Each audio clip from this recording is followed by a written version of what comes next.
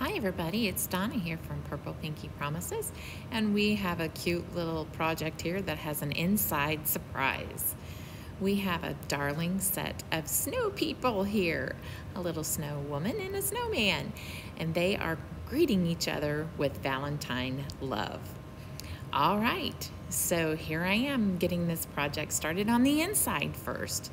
This was the vision I had was the inside of the card and I am inking up this set of stencils from Lawn Fawn. These are the birch tree stencils, and I am inking them up with Skylight. All of the inks that I use in this project, um, except for the sentiment, of course, that is done with VersaFine Clair, but all of the inks are Catherine Pooler inks. So I'm lining up this stencil right there in the center to give it um, that illusion that that blue space continues on. And you'll see what I mean when I'm done inking this up here in a second. Uh, it, this video will fast forward to the end. And when I pull this up, you'll see that the, the actual spot there at the right side, it, it acts as a mask and it carries on that blue space right there in the center. All right, okay, the inside background is done. And we're ready to move to the next thing in our project. So I'm gonna bring this up so we can get a little close up and see what this looks like. The next thing I do is I pick up my snow people, and I ink them around the edges with Twilight. Okay, the next, and those uh, snowmen, or snow people, uh, are actually a Lawn Fawn set. Those darling little snowmen. They're Build a Snowman dies. And the next thing that I did was I inked up the, a banner of hearts and th that banner of hearts was from Just the Ticket Dies. And now we're back to the, uh, the Snow People set, Build the Snowman set. And I'm inking up the scarf, cheeks, hearts, mittens, um, earmuffs, everything. First thing um, I inked up with, of course, is that sparkling berry. Then I go to the rouge, and I am now Oh, and those mittens over there on the left inked up in Skylight again. And now this is Twilight at the top of the earmuffs. You'll see at the top right of the screen, there's two little pieces that actually cover the earmuffs. It gives it a little bit of lift and a little bit of dimension, and it also gives you the opportunity to ink up in two different colors without, without any worry, which is kind of nice. And what I just did was I took my baby wipe and I lightened up the colors. Those little ovals are gonna be the little snow people cheeks. and I have to tell you, this is a little fast forward. It wasn't on purpose. I had a lot of mishaps with this, with this project. Um, my phone died and I didn't notice that my phone died during recording. And guess what? I didn't get the um, assembly of my snow people on video, but I think you get the gist. There is a die that goes behind their faces to capture those little holes and make it look like they have um, a black black pieces, but it's actually die cut holes, and then that black die cut piece of cardstock goes on the back side. It's perfect, fits on both of them. Okay, so and what I'm doing now is exactly what I did on the left. So luckily, I was able to capture this. And so I took those hearts, which actually comes out in one banner, I actually perforated it, pulled it apart so that it would fold in the center very, very nicely. And I only glued down that left heart. So on the left side, I only glued down the right heart. As you can see here, I left that far heart open so that I could place my snowman exactly where I wanted it, glue the heart over the snowman, and then everything stays in place as I want it. It also gives me the opportunity to put um, the arms and uh, hands where I want them to go. I can just slide them in. So now we're putting uh, this next arm and mitten over the heart to give it the illusion that he is holding this banner on his end. And there we go. So you'll see here uh, that it worked so nicely to be able to have that open space to tuck in things in behind uh, after afterwards. So because I had so many mishaps, I'm actually here in the studio this morning. or not the studio, but the store. I'm in the store this morning doing this voiceover. Last night, so first it was my phone that died in the middle of record or in the middle of filming. Then my iPad died last night while I was doing my voiceover, and I gave up and went to bed. I said sometimes the message is loud and clear. So if it seems kind of echoey, that's why I'm here at the store doing this voiceover this morning before I open up the store. Okay, and that's why this upload is late today. All right, now we're gonna tuck in these little arms and hands to give it the, oh, the, the look that they are waving at one another. I could have put them um, over the heart so that they would hold the heart with both hands, but I just thought it was a darling little thing to do to be able to tuck those in and have them wave hello to one another. All right. Now, the next thing I'm going to do is I'm just going to go uh, behind here, behind Mr. Snowman, and I am going to glue him down. And after that, I head over to the other side and I glue her down. Getting all my pieces secure. I do leave the very tip of those mittens um, without any sort of adhesive because I kind of like to lift and give it the illusion that there's some dimension there. I only glue just a little bit there so that it doesn't fall off, but I like to give things a little bit of lift and um, yeah, lift and dimension is great. So here we go. Miss Snowman is over there on the left, or, or Mrs.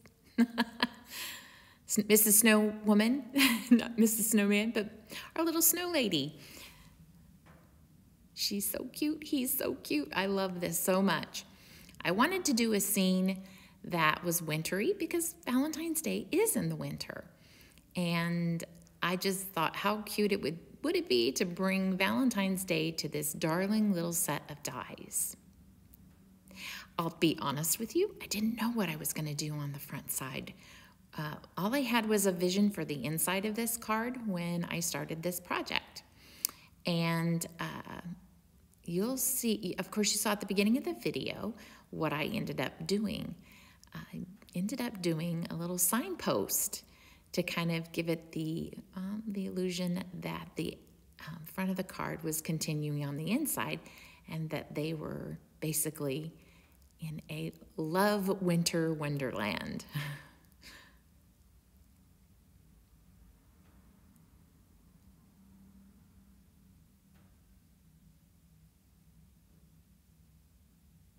I did go ahead and leave in this whole process because I, I, I, suppose I felt a little guilty that you didn't get to see the assembly of the of these little snow people.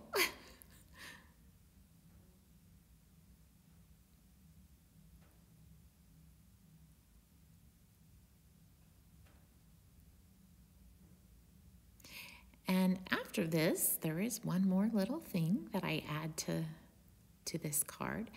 I took the Zermatt sequin mix from Catherine Pooler and I pulled out all of the little snowflakes. Um, oh yes, we we must not forget all of those awesome word dies. And I will tell you that those little hearts, those come from the just the ticket dies, also the same as the banner. The cutie also, and the XOXO, um, and the love ya. All of those word dies, all of those hearts come from just the ticket dies.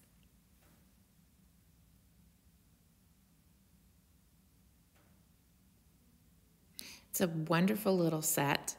Um, it has such versatility.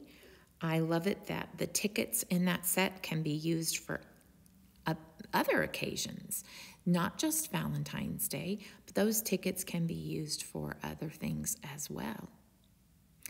Uh, there's a set of coordinating stamps that go with that set. They are called the just the ticket stamp set. And it actually has redeem for, uh, so there are sentiments in there um, in that set that can be used for other occasions as well. So if you wanted to say um, a reward ticket, you wanted to create a, a bunch of reward tickets for your kids or something, and you wanted to write in what the reward was, it's perfect for that. Check out those stamps and dies in our store. There will be a link to everything in the description. Of course, the description for YouTube is down below, and the description for Facebook is, of course, up above. Just about done, and we'll get those sequins on, and we'll be done with the inside of our card. So, so, so cute. If you hear that faint piano in the background, we have a music lessons next door. All right, here we go with our darling little snowflakes. They're shiny. They have, they're so beautiful. Um, they're perfect for this card.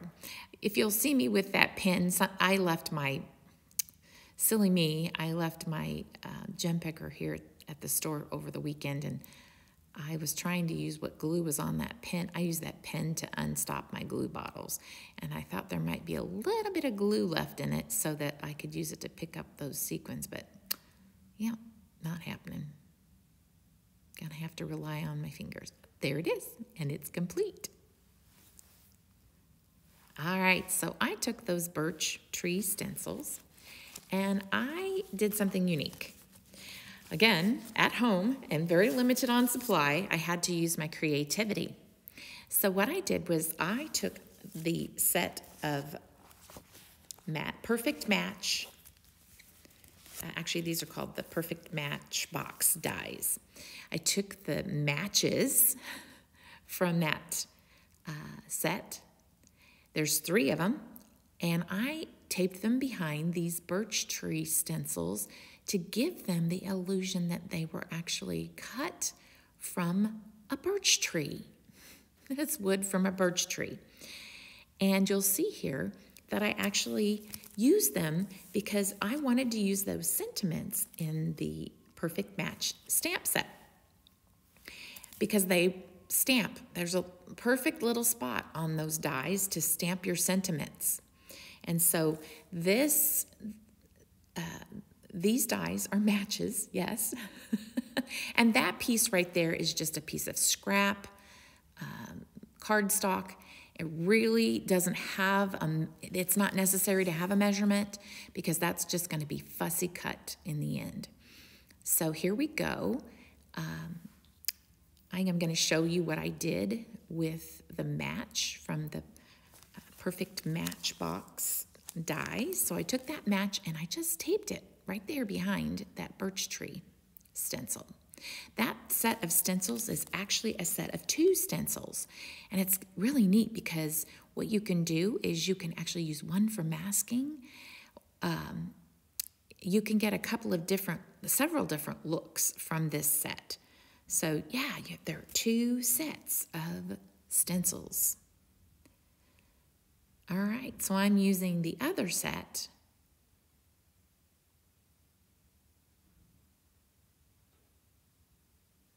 I believe that's what I was using. Yes, I was using the other set to get that inked up. Okay, here we go. We're going to start stamping those sentiments, and I use VersaFine Clair to um, get those sentiments. Oh, we got to get our cleanup. Yay. All right, let's get to stamping. And I'm showing you here where this is from. Really cool set. And I'm pulling out these stamps. Those strips of sentiments fit perfectly on those matches. So darling, so clever. I love it. And it's not limited to the sentiments that I'm using here. Uh, you're just going to see a quick stamp, stamp, stamp, stamp, stamp of each one of these. And I will tell you, you need to pay attention if you want your pieces to go left and right. So here I'm put my, yeah, I'm showing you there. You pay attention to the direction you want the these to go because you're going to cut off each end and we're going to glue those arrows behind them. So you want to make sure you get those arrows uh, or those stamped up so that you can make your arrows directional. All right, fussy cutting.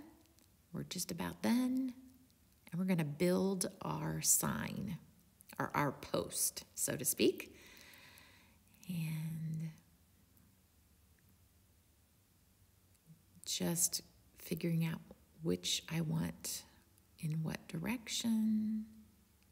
Yeah, there we go. So now this is rouge, inking those up, getting those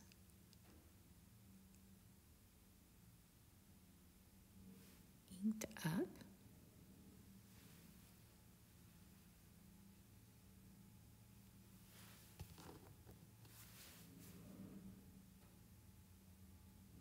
I'm holding my breath and praying that the, uh, the, the guys next door don't show up in the middle of my voiceover for construction. We're almost there. This is kind of the point at which my iPad died last night. so I was almost done. All right. So now next what I'm going to do is I'm going to trim each of these off. Right now I'm being conservative as you can see because I'm just not quite sure how long I need it to be. I didn't really size it up because I was waiting for those to dry off. I didn't want to get a bunch of red on my fingers because I was still working. I didn't need to have red fingers while I was interpreting. That's, yeah, no bueno. so I do end up trimming these down more and gluing them on the arrows. And yeah, we have some noises around here. Thanks for being patient with all the background sounds. all right. There they go.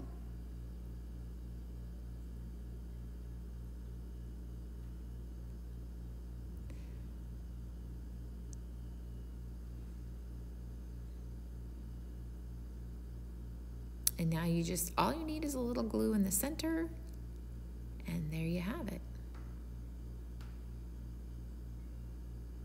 And I decided I wanted to kind of give it a little bit of a, um, put those on at an angle back and forth in each direction. I thought that would be cute.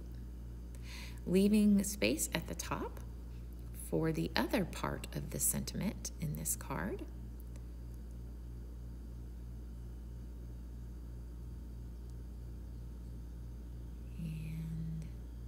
Top and bottom.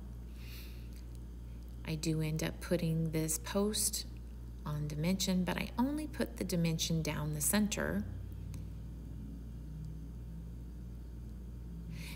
If you wanted, you could actually build those, uh, build those up mm, three or four layers deep with cardstock to give it some more, um, I guess, to prevent them from bending back uh, up and down there.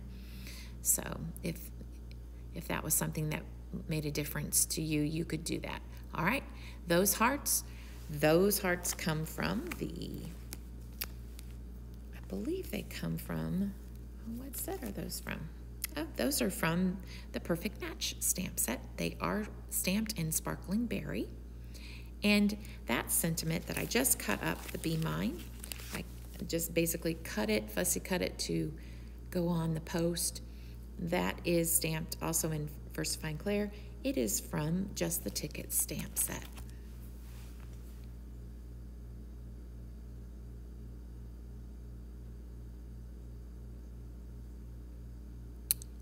And now we have our dimension on the back.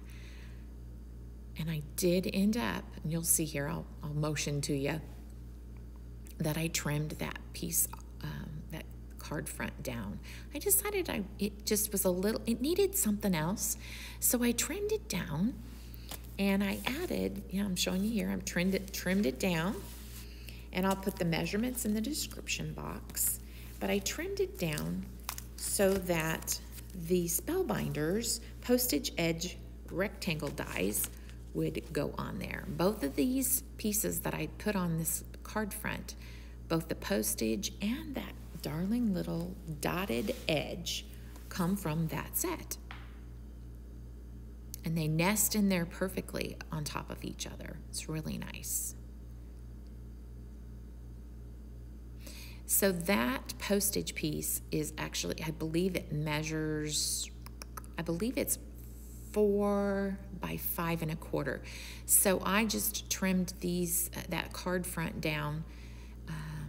Believe it was to th- what was that? Um, or maybe it's three and three quarters by five that that postage piece is. Anyway, I'll give you the measurements. I'll have it in the description. All right, card front done. Yay, we are finished. I added more of those Zermatt sequin, snowflake sequins to the front and it is complete. I appreciate you guys stopping by to check out our project, this project today. I hope you have a blessed rest of your day and week. Thanks for everything that you do to support us over here. We certainly appreciate it. Have a great day. Bye bye.